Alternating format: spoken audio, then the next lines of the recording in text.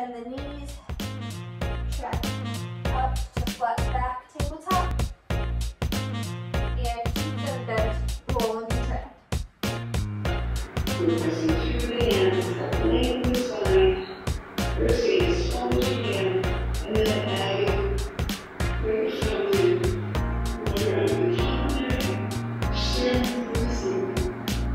and fly. And the way you fly is you're trying to push yourself backwards while you go forward.